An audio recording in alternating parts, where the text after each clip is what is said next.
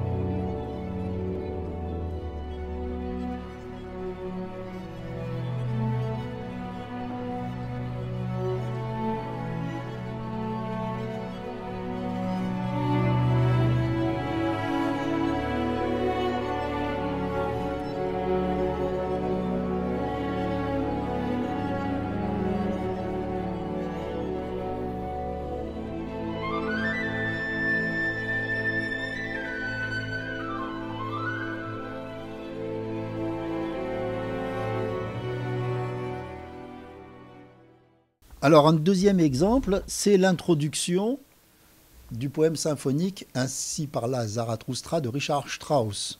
Ça a été écrit dans les tout débuts du XXe siècle. Hein. Je sais, j'ai plus la date exacte en tête. J'ai une petite question, euh, Philippe, sur, sur euh, Richard Strauss, donc euh, compositeur romantique hein, et néoclassique. Est-ce qu'il a un rapport avec Johann Strauss Est-ce qu'il y a un rapport familial? Pas à ma connaissance, non. Je pense qu'il n'y a pas de rapport avec le grand compositeur de, de valse. Enfin, il y a plusieurs Strauss compositeurs de valse aussi. Mais là, non, c'est une simple homonymie. D'accord. Et donc Richard Strauss était une sorte au départ de continuateur de Wagner dans le domaine du poème symphonique. Et puis ensuite, il va écrire énormément d'opéras. Et effectivement, comme tu l'as dit, il va devenir néoclassique mhm. hein, dans une partie importante de son œuvre.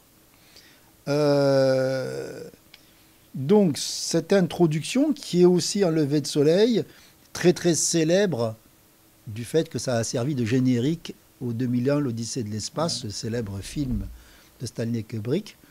Euh, musique tout à fait extraordinaire, très brève, qui joue aussi, comme Haydn, dont j'ai parlé dans notre première partie, sur l'opposition du do mineur et du do majeur.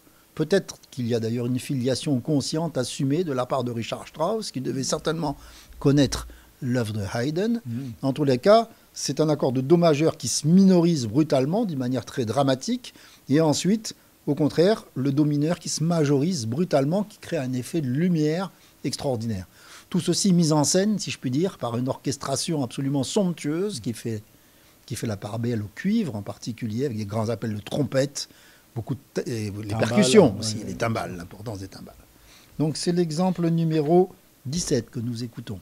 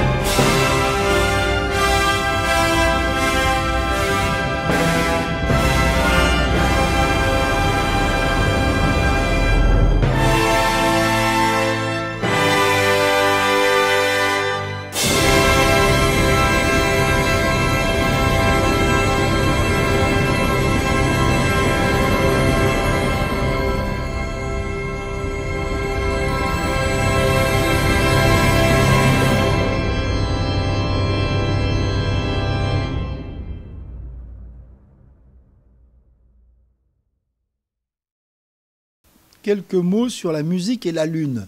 Enfin, quelques mots, si on peut le faire, c'est impossible d'ailleurs, parce qu'il y a des musiques innombrables, euh, évidemment, qui, nous parlent de la lune, du clair de lune. Euh, depuis très longtemps. Déjà, il y a un clair de lune chez Schumann, très très beau lead, par exemple. Et puis, avant encore, la fameuse sonate au clair de lune, sauf que le titre n'est pas de, de Beethoven. Alors qui, c'est l'éditeur. C'est un poète qui s'appelle Rellstab. Qui l'a donné en 1732, après la mort de Beethoven, et en tant que clair de lune sur le lac de Lucerne. Et donc c'est resté. C'est une appellation qui est restée. voilà. Alors c'est un autre clair de lune que je voulais vous faire entendre, celui de Claude Debussy. C'est une de ses œuvres les plus populaires, d'ailleurs les plus connues, à mon avis, à juste titre. C'est plutôt une œuvre de jeunesse. Hein. Euh, il l'avait intitulé au départ Promenade sentimentale. Donc il y a ce lien souvent entre la lune et euh, d'une part la féminité et d'autre part aussi le, le sentiment, l'émotion. L'émotion et le sentiment amoureux en mmh. particulier. Mmh. Hein. Alors c'est une très très belle trouvaille, musique qui paraît très simple a priori, mais en fait musique toute, toute suspendue en fait, et qui va très sinueuse, très conjointe, une espèce de longue descente qui se cherche et qui finit par se poser sur la tonique, sur le, centre, si on peut dire. Mais il y a tout ce parcours qui est assez fascinant et qui se fait par des tierces qui se répondent, une espèce de dialogue, comme une sorte de dialogue amoureux entre ces tierces qui sont les intervalles les plus consonants de la musique et qui donc, si on peut dire, peuvent symboliser le sentiment amoureux. bien sûr. Donc ça, c'est notre exemple numéro 18.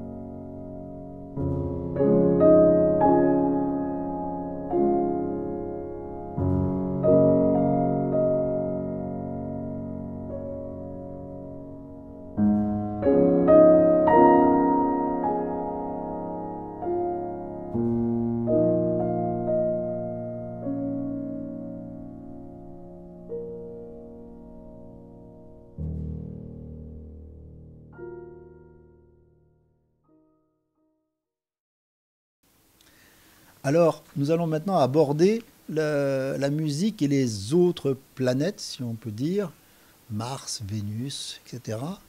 Euh, évidemment, l'œuvre qui vient immédiatement à l'esprit, qui est quand même très très célèbre, c'est celle du compositeur anglais Gustav Holst, qui s'appelle Les planètes, et qui a été écrite euh, dans les années 1910, la décennie 1910.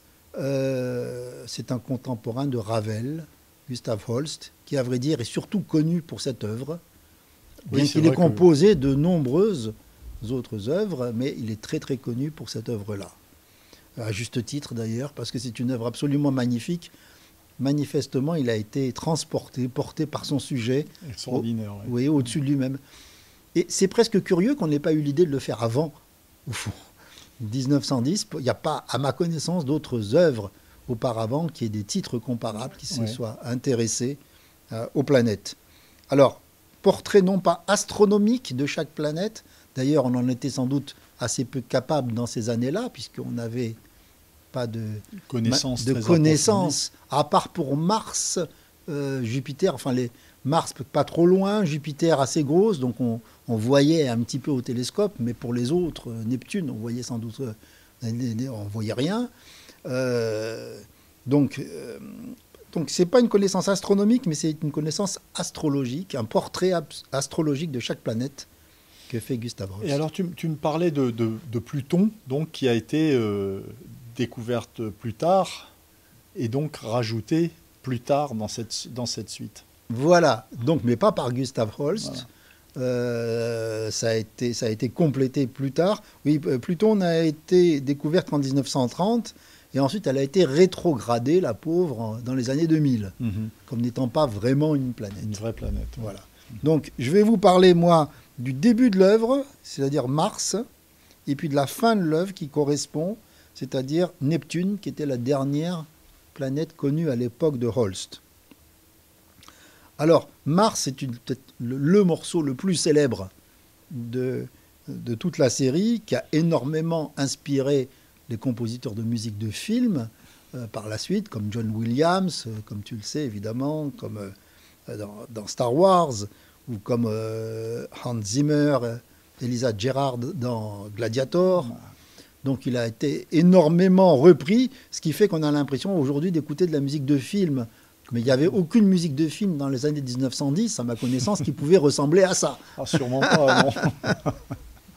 voilà. D'autant plus qu'à l'époque, le cinéma était, était muet, donc les musiques qui pouvaient accompagner le cinéma étaient rarement des musiques orchestrales comme ça.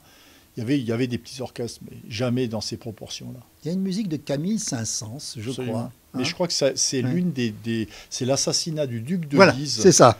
et c'est vraiment l'une des premières œuvres qui a été composée spécifiquement pour l'image. D'accord. Euh, alors je, n'ai plus la, date de composition, mhm. mais euh, je, me demande même si c'est pas euh, vraiment le, tout début du XXe siècle. Hein, ah oui, c'est ça. tout début. Mais évidemment, à l'époque, on ne pouvait pas imaginer accompagner une, de l'image avec une musique aussi extravagante, parce que c'est vraiment extravagant quand on, quand on, quand on se rend compte de la magnificence de cette musique. Oui, alors ce Mars, en fait, c'est une sorte de... Donc Mars, c'est celui qui apporte la guerre, c'est ce qu'il écrit en tête de la partition, donc c'est une prémonition de la guerre de 14, ça a été écrit avant le déclenchement du conflit, hein, ce qui est très remarquable. Mm. Une prémonition extraordinaire parce que c'est une musique vraiment terrifiante mm. qui semble illustrer par avance ce que va être cette guerre. Le chaos de... Oui, donc une, une, marche militaire, mais, mais défigurée, si on peut dire, de manière à en faire quelque chose de totalement effrayant Normalement, une marche militaire, serait, ça serait fait pour donner le goût de la guerre, si on peut dire. Là, au contraire, ça nous en dégoûte. C'est euh, vraiment terrifiant, écrasant. tu me disais tout à l'heure que mm. notamment c'est dû au fait que la métrique n'est pas une métrique en deux ou en quatre comme on le fait habituellement sur une marche. oui, effectivement, c'est une marche boiteuse à cinq temps. Mm. Ça, c'est une belle trouvaille. Et d'ailleurs, ça répond aussi au Neptune, dernière pièce, qui est aussi à cinq temps. Donc je pense que ça, il l'a il, l'a pensé. Hein. Donc on va écouter cet extrait. Euh, alors, oui, j'ai oublié de dire aussi, euh, dans l'harmonie, l'emploi de ce qu'on appelle la polytonalité, des polyharmonies, très très important. Technique nouvelle à l'époque, de superposition de tonalités différentes. C'est un peu ce que faisait Stravinsky aussi à l'époque. Oui, mais c'était à la même époque. Oui, c'était dans l'air à l'époque, mais euh, c'était quand même dans l'avant-garde des compositeurs qui restaient dans le cadre global de la tonalité l'idée de superposer plusieurs tonalités. Donc c'est notre exemple numéro 19 que l'on écoute.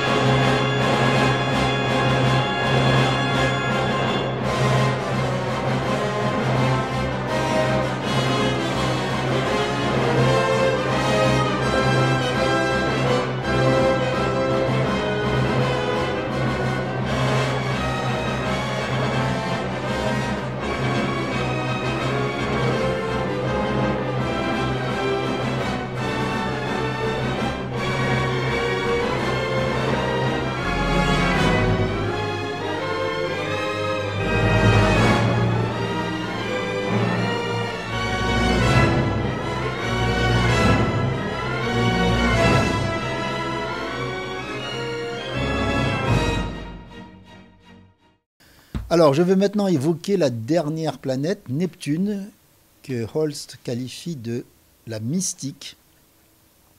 Ça, c'est mon morceau préféré, personnellement. Je trouve ce morceau absolument fascinant. Oh, donc, vous allez en entendre trois extraits le début, le milieu et la fin.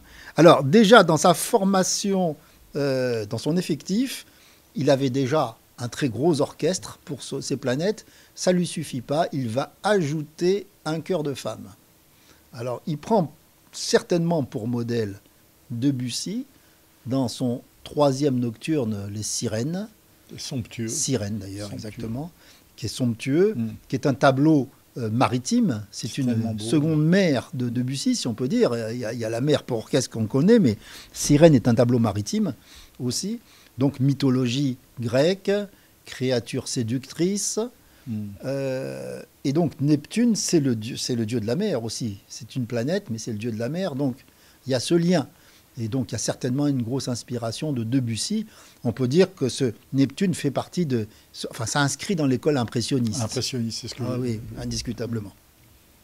Donc le début est très simple et fait intervenir d'ailleurs un timbre euh, adoré de Debussy, qui est celui de, de, la flûte, et de la flûte quasiment en solo. C'est pas un solo de flûte comme dans l'après-midi d'un faune, mais c'est un duo. Hmm. Et de la flûte, des flûtes dans le grave, avec une flûte alto, tout simplement sur deux accords qui s'opposent, qui sont l'accord de mi mineur et l'accord de sol dièse mineur. C'est vraiment un très très beau début. C'est notre exemple numéro 20.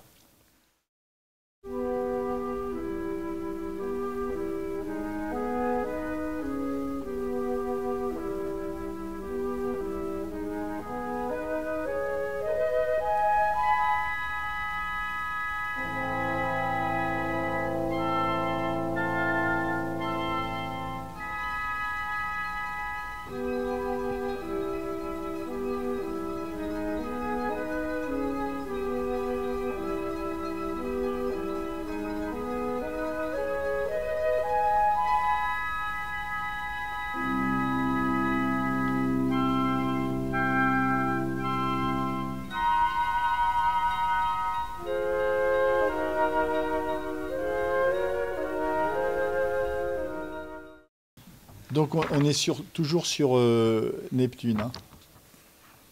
Hein. oui, on est sur Neptune. Maintenant, euh, un petit extrait qui va être pris au milieu de Neptune, juste avant l'entrée du chœur, puisqu'au début, il n'y a que l'orchestre.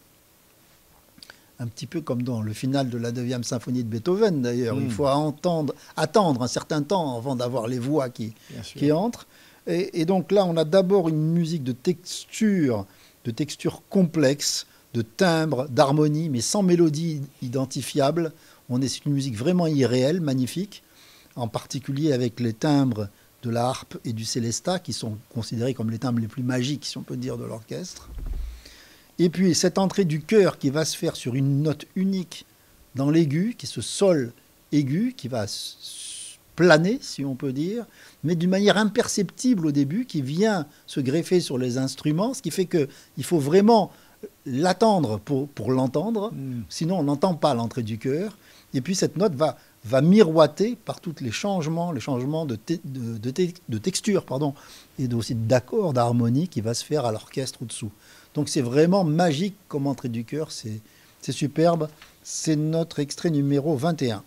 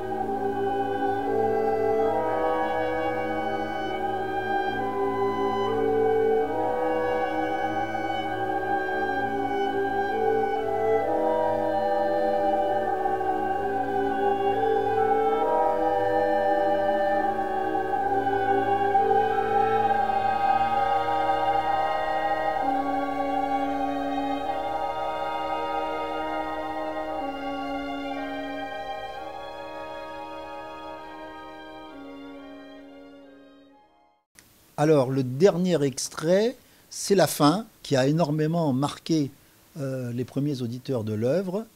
Il faut dire que le chœur est placé dans les coulisses, pas placé sur scène, avec des portes qui sont ouvertes. Et puis, cette fin, c'est en fait des boucles sonores, c'est-à-dire un ostinato, une musique qui se répète sans fin, mais on ferme petit à petit la porte, dont on obtient un effet comme ça d'infini, de diminuendo, jusqu'à rendre la musique imperceptible.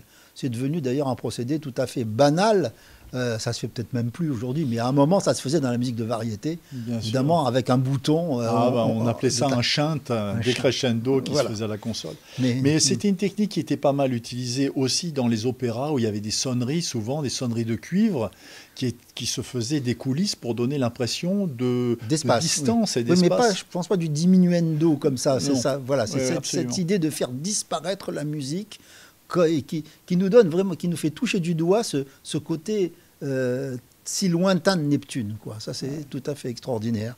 Donc, on écoute ce dernier extrait, qui est l'extrait numéro 22.